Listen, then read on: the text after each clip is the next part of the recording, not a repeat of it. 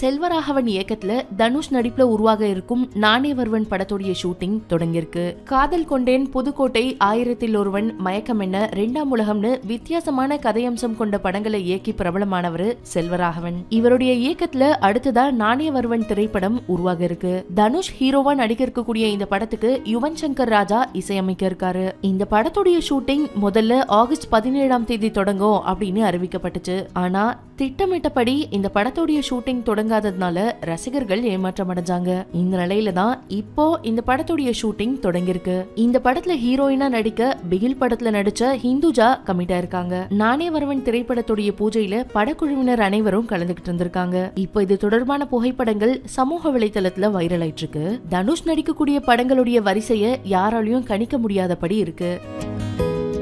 Corona ரெண்டாம் அலையப்ப Hollywood படமான தி grey man படத்துடைய ஷூட்டிங்க தனுஷ் முடிச்சாரு. அதுக்கப்புறமா அவர் எந்த படத்துல கமிட் ஆக போறாரு யாருடைய இயக்கத்துல நடிக்க போறாரு அப்படிங்கிறது ஒரு மிகப்பெரிய கேள்வியா இருந்துச்சு. இந்த நிலையில தான் யுஎஸ்ல இருந்து திரும்பின மறுநாளே ஹைதராபாத்ல நடந்த கார்த்திக் நரன் இயக்கக்கூடிய மாறன் படத்துடைய ஷூட்டிங்ல கலந்துக்கிட்டாரு. மாறன் படத்துடைய ஷூட்டிங் அப்போ இயக்குனர் சேகர் கமலு தனுஷ சந்திச்சாரு. சேகர் கமலு தனுஷை வைத்து பேன் இந்தியா திரைப்படம் ஒன்றை இயக்குறதுனால தனுஷ் அடுத்ததா சேகர் கமலு இயக்கத்துல நடிப்பாரு அப்படின்னு சொல்லப்பட்டுச்சு ஆனா அதுக்கு மாறா மாறன் படத்துல நடிக்கும் போதே மித்ரன் ஜவஹர் இயக்கத்துல திருச்சிற்றம்பலம் படத்தை தொடங்கினாரு. சன் பிக்சர்ஸ் தயாரிக்கக்கூடிய இந்த படத்துடைய ஷூட்டிங் முடிஞ்சிட்டதா சொல்லப்படுது. இந்த நிலையில தான் இப்போ தனுஷுடைய நானே வருவன் படம் தொடர்பான அப்டேட்டை செல்வராகவன் வெளியிட்டிருக்காரு. அந்த அறிவிப்புல தனுஷோட புதிய போஸ்டர் ஒன்ன வெளியிட்டு நானே வருவன் படத்துடைய ஷூட்டிங் தொடங்கியிருக்கிறதா தெரிவிச்சிருக்காரு.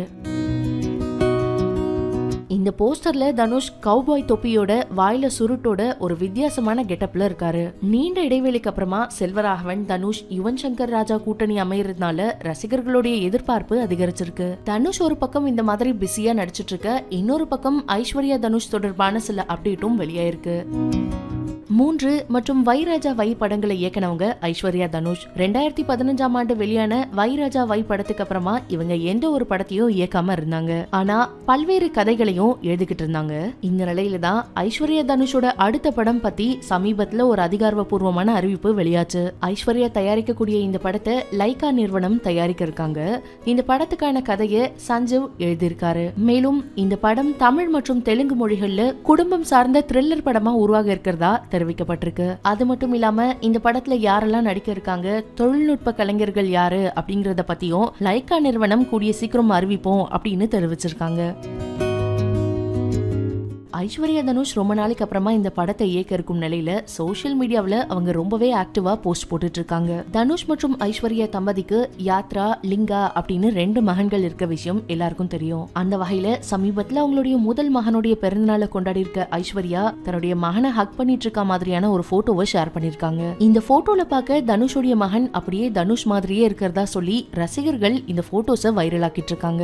அடுத்ததா ஐஸ்வர்யா அவங்களுடைய ரெண்டாவது மகன் கூட இருக்கக்கூடிய ஒரு போட்டோவை ஷேர் பண்ணி mom rides while son learns to drive post ride and post session feels அப்படின்னு சொல்லி மகன் பேட்டை வச்சு விளையாடுற மாதிரியும் அம்மா சைக்கிள் ஓட்டுற மாதிரியான ஒரு ஸ்டில்ல ஷேர் பண்ணிருக்காங்க. தனுஷுடைய இந்த ஃபேமிலி போட்டோஸ் இப்ப சோஷியல் மீடியாவில் பயங்கரமா ஷேர் ஆயிட்டு இருக்கு